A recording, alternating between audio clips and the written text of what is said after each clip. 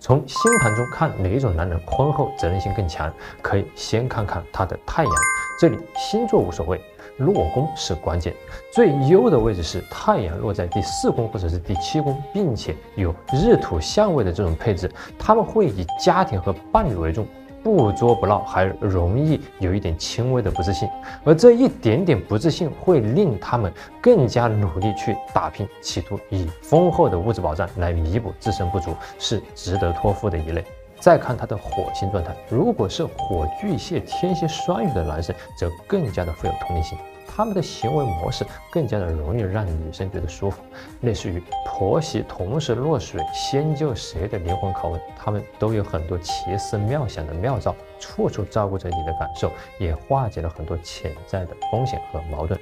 同时，如果火星在与天顶成吉相位，那更能够说明他们对已经认定的人会更加的忠贞执着。另外，小行星婚神也很重要，与上升点的任何相位都说明他对于婚姻或者是修成正果的关系很渴望，相应的也会很重视这段关系。